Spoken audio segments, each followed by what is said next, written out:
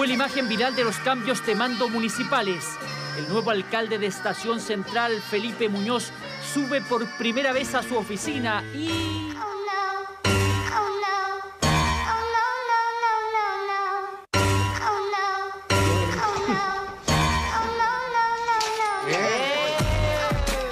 Con un Napoleón debió cortar la cadena que le impedía el acceso. Me quedé con, la, con el eslabón cortado y que sí, lo vamos, yo creo que lo vamos a marcar y lo vamos a tener aquí en la oficina. Yo creo que, que es un gran símbolo respecto a lo que nos costó llegar acá, que nosotros lo tenemos que cuidar y por eso lo tenemos que hacer muy bien.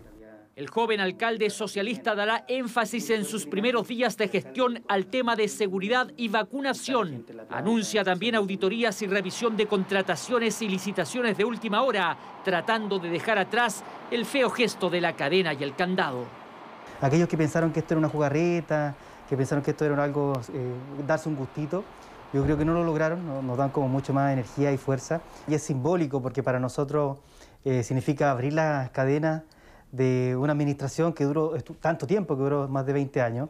Al menos cuenta el alcalde Muñoz que al entrar a la oficina encontró el mobiliario necesario para iniciar sus funciones, porque en Maipú, el alcalde Bodanovich denunció que se llevaron los cuadros, los computadores, los teléfonos e incluso mientras se despedía por Instagram, la alcaldesa Barriga, que no asistió al cambio de mando, intentó llevarse desde el parque municipal una yegua que le regalaron a principio de año.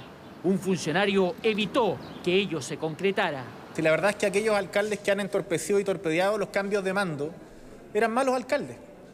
Eran alcaldes que estaban jugando en favor suyo y no en favor de las comunidades y los vecinos de esas comunas. Quienes están en pie de guerra son parte de los alcaldes de la región de Valparaíso. El Tribunal Regional Electoral no alcanzó a oficializar las actas de traspaso de 26 de los 38 municipios de la región. En algunos, como en Viña del Mar, hubo ceremonias simbólicas. En otros, derechamente se suspendieron. Nuevos ediles anuncian acciones legales. Es una falta de respeto. Creo que vamos a evaluar con mi equipo jurídico todas las medidas que permita subsanar este tipo de situaciones. Así, en medio de polémicas, de acciones legales en contra del TER de Valparaíso y auditorías externas en casi todos los municipios donde asumen nuevos alcaldes, se inicia un nuevo periodo municipal en nuestro país.